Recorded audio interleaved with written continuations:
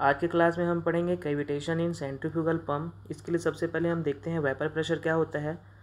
Vapour pressure और cavitation हम पहले भी एक बार पढ़ चुके हैं lecture one point four four में, इसका वीडियो लेक्चर है, आप देख सकते हैं। तो वेपर प्रेशर क्या होता है यहाँ पे देखते हैं। हमने यहाँ पे क्लोज वेजर लिया है, जिसमें क्या है वाटर है। मान लेते हैं वाटर का टेम्परेचर अभी कितना है thirty degree centigrade zero point two bar इसका क्या है प्रेशर है। इसको वेपर प्रेशर भी बोल सकते हैं। जब वाटर को हम एक एक्सटर्नल सोर्स से हीट करते हैं, यहाँ पे एक्सटर्नल सोर्स से हीट करते हैं तो वाटर का टेम्परेचर क्या होगा? इंक्रीज़ होगा। वाटर का टेम्परेचर भी थर्टी डिग्री सेंटीग्रेड है ज़ीरो पॉइंट टू बार पे। जब इसको हीट करेंगे तो टेम्परेचर इंक्रीज़ होगा। इसका टेम्परेचर इंक्रीज़ हो रहा है। जब टेम्परेचर इंक्रीज़ होगा तो प्रेशर भी इंक्रीज़ होगा इसका। ये प्रेशर भी इंक्रीज़ हो गया। और जब वाटर का टेम्परेचर हंड्रेड डिग्री सेंटीग्रेड पर पहुँच जाएगा और प्रेशर क्या रहेगा? एटमॉस्फेरिक प्रेशर रहेगा। वन एटमॉस्फेयर इक्वल टू कितना होता है? One point zero one three bar. तब जो वाटर है, वो वेपर में कन्वर्ट हो जाएगा। वाटर के यूपरेशन या बॉइलिंग होने से यहाँ पे बबल्स बनते हैं, वेपर्स बनते हैं। जब ये वेपर के द्वारा लिक्विड पे प्रेशर लगाया जाता है, लिक्विड पे क्या करते हैं? ये प्रेशर लगाते हैं तो उसको हम क्या बोलते हैं? वेपर प्रेशर कहते हैं। ये जो बबल्स दिख रहे हैं, ये जब ये क्लोज वेजल पे स्ट्राइक करेगा तो ये कुछ क्लोज वेजल के कुछ एरिया पे स्ट्राइक करेगा और यहाँ पे क्या लगाएगा? फोर्स लगाएगा। तो हमको पता है प्रेशर क्या होता है? Force upon area equal to क्या होता है? प्रेशर होता है। तो बबल्स या वेपर के द्वारा लिक्विड पे लगाया गया प्रेशर क्या कहलाता है? वेपर प्रेशर कहलाता है। अब हम देखते हैं कैविटेशन कैविटेशन किसी पंप या पाइपलाइन का एक प्रॉब्लम होता है। जब वाटर लो प्रेशर रीजन में आता है, तब वाटर क्या होता है? वेपर में कन्वर्ट हो जाता है। और वहाँ पे एयर बबल्स बनाता है। जब ये air bubbles low pressure region से हाई प्रेशर रीजन में जाता है, तब एयर बबल्स क्या होता है? कोलैप्स हो जाते हैं और वो ब्रेक हो जाते हैं। जैसे ही एयर बबल्स ब्रेक होते हैं, यहाँ पे बहुत ज़्यादा अमाउंट में प्रेशर राइज होता है। इस हाई प्रेशर के कारण क्या होता है? पम्प के अंदर इम्पेलर या केसिंग के वॉल में पिटिंग एक्शन होता है, जिससे पम्प के वॉल में स्मॉल स्मॉल होल प्रोड्यूस होते हैं। तो हमने अभी देखा जब बबल्स लो प्रेशर रीजन से हाई प्रेशर रीजन में जाता है तो बबल क्या हो जाता है? कोलैप्स हो जाता है। कोलैप्स होने के बाद बबल क्या हो जाता है? टूट जाता है ब्रेक हो जाता है। यहाँ पे हमको दिख रहा है आइसोलेटेड बबल कोलैप्स ये डायग्राम है जिसमें बबल क्या हो रहे हैं? कोलैप्स हो रहे हैं। ये बबल पे क्या लग रहा है? प्रेशर लग रहा है। जब ये बबल टूटते हैं तो ब्रेक होते हैं तो उसमें क्या होता है? सॉक वेव जनरेट होता है। बबल्स में क्या होता है? सॉक वेव जनरेट होता है। ये क्या हो रहा है? सॉक वेव जनरेट हो रहा है। इसका प्रेशर क्या रहता है? बहुत ज़्यादा रहता है। जब बबल्स टूटते हैं तो उसमें बहुत ज़्यादा प्रेशर राइज होता है। ये यहाँ पे सॉक वेव जनरेट हो रहा है। इसमें क्या है? ये जो बबल्स है, किसी सॉलिड बाउंड्री के कांटेक्ट में नहीं है, लेकिन वहाँ पे भी क्या हो रहा है? सॉक वेव जनरेट हो रहा है। जब ये बबल्स, जैसे कि यहाँ पे नीचे डायग्राम में देखते हैं, जब ये बबल्स किसी सॉलिड वॉल के कांटेक्ट में रहते हैं isolated bubble collapse near a solid boundary मान लेते हैं जो सॉलिड बाउंड्री है, वो क्या है? इम्पेलर और केसिंग का वॉल है. अब यहाँ पे भी क्या होगा? बबल लो प्रेशर रीजन से हाई प्रेशर रीजन में आएगा और कोलैप्स होगा और वो ब्रेक होगा. जब ये बबल यहाँ पे ब्रेक होता है तो यहाँ पे भी क्या होगा? शॉक वेव जनरेट होगा. अब ये शॉक वेव क्या करेगा ये? जो इम्पेलर और केसिंग का वॉल है, उस पर भी कुछ इफ़ेक्ट करेगा. शॉक वेव के कारण क्या होगा?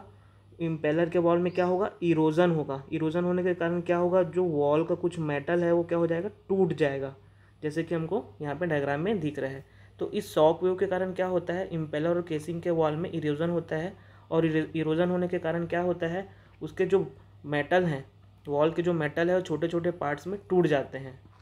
और ये जो छोटे छोटे मेटल्स के पार्ट है वाटर का फ्लो तो हो ही रहा है। वाटर के साथ साथ डिलीवरी पाइप की सहायता से बाहर निकल जाता है। इससे इम्पेलर और केसिंग में लॉसेस होना और वाटर का लीकेज होना स्टार्ट हो जाता है और पम्प क्या हो जाता है? डैमेज हो जाता है। ये जो फिनोमिना है, इसी को हम क्या बोलते हैं? कैविटेशन कहते हैं। अब हम इसको हम इस डायग्राम से और समझते हैं। मान लेते हैं, ये क्या है? सम्प है। यहाँ पे का जो लिक्विड है, इसका टेम्परेचर कितना है? थर्टी डिग्री सेंटीग्रेड है। और इसका जो प्रेशर है, वो कितना है? ज़ीरो पॉइंट टू बार है। ये इसका क्या है? वेपर प्रेशर है। ये इसका वेपर प्रेशर है। अगर सक्शन पाइप का pressure zero point four bar है और मान लेते हैं डिलीवरी पाइप का प्रेशर कितना है, सिक्स बार है। इस कंडीशन में क्या रहेगा? पंप में कैविटेशन का कोई प्रॉब्लम नहीं होगा।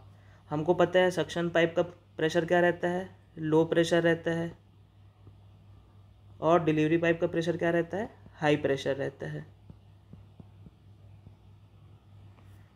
सक्शन पाइप में एक वैक्यूम गेज लगा रहता है, जो सक्शन पाइप में वाटर फ्लो हो रहा है, उसके प्रेशर को मेज़र करता है, लो प्रेशर को मेज़र करता है। और जैसे ही वाटर इम्पेलर से केसिंग में जाता है, इसका प्रेशर क्या रहता है? बहुत ज़्यादा रहता है, एटमॉस्फेयर प्रेशर से ज़्यादा रहता है। यहाँ पे का प्रेशर हाई रहता है, इस प्रेशर को कौन मेज़र करता है? यहाँ पे प्रेशर गेज लगा रहता है, इसको हम पॉजिटिव प्रेशर गेज भी कहते हैं, जो हमारा एटमॉस्फेयर प्रेशर से ज़्यादा रहता है।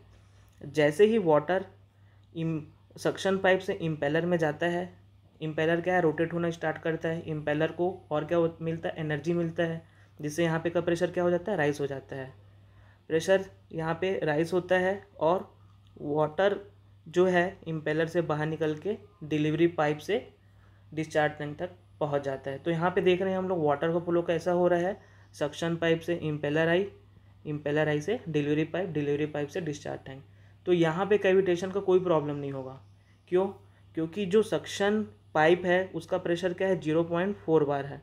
ये जो प्रेशर है, ये लिक्विड का जो, यहाँ पे जो लिक्विड है, जो वाटर है, जो पंप में फ्लो हो रहा है उसके प्रेशर से ज़्यादा है। यहाँ पे जो ज़ीरो पॉइंट फोर बार है, वो लिक्विड के vapour pressure zero point two bar जो कि है, ये क्या है लिक्विड का वेपर प्रेशर है ज़ीरो पॉइंट टू बार से ज़्यादा है। तो यहाँ पे कैविटेशन का कोई प्रॉब्लम नहीं यहाँ पे अगर हम सक्शन पाइप को सिस्टम लेते हैं, अगर सक्शन पाइप हमारा क्या है सिस्टम है।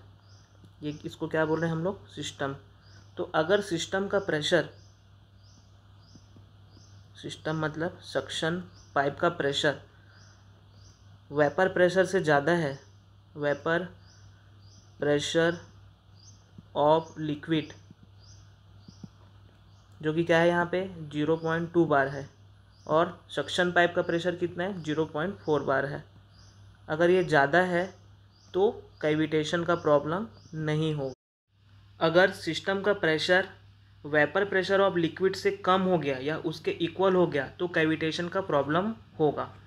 अगर हमारा सिस्टम का प्रेशर, सिस्टम क्या है यहाँ पे? सक्शन पाइप है। अगर सक्शन पाइप का pressure vapour pressure of liquid से कम हो गया मतलब ज़ीरो पॉइंट टू बार से कम हो गया या उसके इक्वल हो गया तो यहाँ पे कैविटेशन का प्रॉब्लम होगा। इस कंडीशन में क्या होगा? यहाँ पे जो वाटर है, ये जब ऊपर जाएँगे लिक्विड जो है, जब ऊपर जाएगा तो यहाँ पे क्या होगा, बबल बनने स्टार्ट हो जाएगा। बबल का फॉर्मेशन होना स्टार्ट हो जाएगा यहाँ पे। यहाँ पे वाटर क्या होगा बॉइल्ड होना स्टार्ट हो जाएगा। बॉयल होगा तभी ये क्या होगा, बबल में कन्वर्ट होगा। कौन से टेम्परेचर में बबल बनना स्टार्ट होगा ये? ये इसी थर्टी डिग्री सेंटीग्रेड पर ही ये बबल बनना स्टार्ट हो जाएगा। और ये बबल कहाँ पे जाएगा? इम्पेलर में जाएगा। जैसे ही ये बबल इम्पेलर में जाएगा। मतलब क्या है ये? सक्शन पाइप में प्रेशर क्या है? लो प्रेशर है। और यहाँ पे प्रेशर क्या है? हाई प्रेशर है। तो जैसे ही बबल लो प्रेशर रीजन से हाई प्रेशर रीजन में इंटर करेगा, वहाँ पे बबल्स क्या हो जाएँगे? कोलैप्स हो जाएँगे। कोलैप्स होने के बाद क्या होगा? ब्रेक हो जाएगा। तो जब ये ब्रेक होंगे तो बहुत ज़्यादा प्रेशर राइज होगा और वहाँ पे क्या होगा? सॉक वेव जनरेट होगा। सॉक वेव जनरेट होगा। तो ये जो इम्पेलर का जो वॉल दिख रहा है, ये और ये केसिंग का जो जो वॉल दिख रहा है, उसमें क्या होगा? इरोजन होगा। इसका जो मेटल का जो पार्ट्स है, वो टूटना स्टार्ट करेगा। और ये पार्ट्स वाटर के साथ डिलीवरी पाइप की सहायता से बाहर निकल जाएगा ये। तो ये जो फिनोमिना है, इसको हम क्या बोलेंगे? कैविटेशन बोलेंगे। इससे क्या होगा? जो इम्पेलर और केसिंग का जो वॉल है, ये केसिंग हो गया और ये जो इम्पेलर का जो वॉल है, उसमें लीकेज हो जाएगा लॉसेज होना स्टार्ट हो जाएगा, जिससे क्या होगा? पंप डैमेज हो जाएगा। तो कैविटेशन कब होगा? जब सक्शन पाइप का प्रेशर जो है सक्शन पाइप का जो प्रेशर है, वो then equal to vapour pressure of liquid vapour, pressure of liquid. तो इस कंडीशन में क्या होगा? जब सिस्टम का प्रेशर या सक्शन पाइप का pressure less than equal to vapour pressure of liquid रहेगा तो कविटेशन का प्रॉब्लम होगा पंप में। यहाँ पे हमको एक पंप का डायग्राम दिख रहा है। ये ए बी सी डी अलग अलग कंडीशन है वाटर का। एक कंडीशन क्या है? जब वाटर इंटर कर रहा है पंप में, वाटर कहाँ पे इंटर करता है? सक्शन पाइप में इंटर करता है। तो पॉइंट ए पे जो प्रेशर रहेगा वो क्या रहेगा? सक्शन प्रेशर सक्शन प्रेशर क्या रहता है? लो प्रेशर रहता है। इसके बाद क्या आ रहा है? पॉइंट बी पॉइंट बी जैसे ही यहाँ पे प्रेशर सिस्टम का जो प्रेशर है सिस्टम क्या है? सक्शन पाइप है। उसका pressure vapour pressure of liquid से कम हो जाएगा। तो वहाँ पे क्या होता है? बबल फॉर्मेशन होना स्टार्ट करता है। तो सक्शन पाइप में जो बबल्स हैं, वो इम्पेलर में जाता है। इम्पेलर में जाने के बाद वहाँ पे क्या होता है?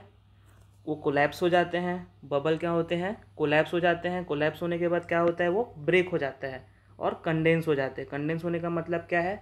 जो बबल्स है वो वाटर में फिर से चेंज हो जाते हैं। तो यहाँ पे जब बबल कोलैप्स होंगे ब्रेक होंगे तो वहाँ पे प्रेशर क्या होता है? बहुत ज़्यादा राइज होता है। उसके बाद क्या होगा?